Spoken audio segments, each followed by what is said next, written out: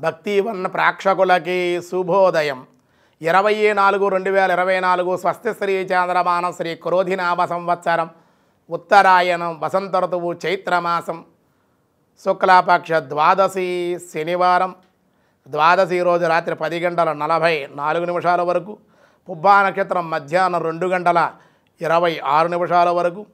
Version రాత్రి పది గంటల ఇరవై ఐదు నిమిషాల పన్నెండు గంటల పన్నెండు గంటల వరకు. దుర్ముహూర్తం ఉదయం ఐదు గంటల నలభై ఐదు నిమిషాల నుండి ఏడు గంటల ఇరవై నాలుగు నిమిషాల వరకు సూర్యోదయం ఐదు నలభై ఐదు సూర్యాస్తమయం ఆరు పన్నెండు. అమృత గడిల ఉదయం ఏడు గంటల ఇరవై ఏడు నిమిషాల నుండి తొమ్మిది గంటల ఎనిమిది నిమిషాల వరకు రాహుకాలం ఈరోజు ఉదయం తొమ్మిది గంటల నుండి పది గంటల ముప్పై నిమిషాల వరకు రాహుకాలం. ఈరోజు ద్రవయోగం తెల్లవారుజున మూడు ఆరు బవ ఉదయం తొమ్మిది నలభై నాలుగు బాలవ రాత్రి పది నలభై నాలుగు. మహావీర జయంతి అలాగే విశేషమైనటువంటి ద్వా నిన్న ఏకాది ఉపవాసం చేసినటువంటి వాళ్ళు ఈరోజు ద్వాదశి పూర్తిగా ఉంది. కాబట్టి చక్కగా మీరు ఈ ద్వాదశి పారాయణ కూడా విశేషంగా చేసుకోవచ్చు. శనివారం కావడం వెంకటేశ్వర స్వామి వారి ఆలయ దర్శనం గోవిందనామ స్మరణ కూడా విశేషమైన శక్తినిస్తుంది ఈరోజు. దినారంభ చక్రాన్ని బట్టి మేష వృషభ మిథున కర్కాటక రాశి వారికి సామాన్యంగానే ఉంది. సింహ కన్య తొల వృశ్చిక రాశి వారికి కూడా మిశ్రమంగానే ఉంది. ధనస్సు మకర కుంభ మీనరాశుల వారి మటుకు ఈరోజు చాలా అనుకూలంగా ఉంది.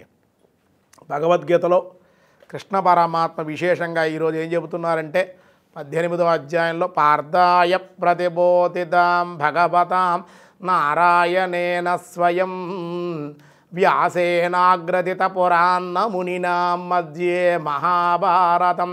అద్వైతామృతవర్షిణీం భగవతీం అష్టాదశాధ్యాయిని అంబా త్వామనుసందధామి భగవద్గీతే భవద్వేషిణి భక్త మమ విజానాతి యవన్యశ్చాస్మి తత్వత తతో మాం తత్వతో జ్ఞాత్వా విసితే తదనంతరం బ్రహ్మభూతుడైన యోగి ఈ పరమ భక్తి ద్వారా నేనెవరో నేనెంతటి వాడినో యథాతథంగా నా తత్వాన్ని తెలుసుకోగలుగుతాడు.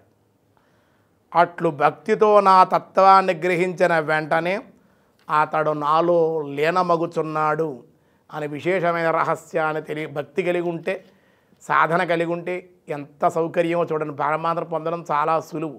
కానీ మనం భయపడి సాధన చేయక ఈ బంధాలు ఈ మోహాలు ఈ ద్వేషాలు ఇవన్నీ మనం పెట్టుకుంటాం కాబట్టి అరిషడ్ వర్గాలని జయించినట్లయితే మనస్సు చిత్తాన్ని ఇప్పుడు నిర్మలంగా మనస్సు ఉన్నట్లయితే ప్రశాంతంగా ఉంటే సాధన చేయగలిగితే మనం అన్నీ కూడా సాధించవచ్చు అని స్వామివారు తెలియజేస్తాను మిగతా విషయాలు రేపు చూద్దాం.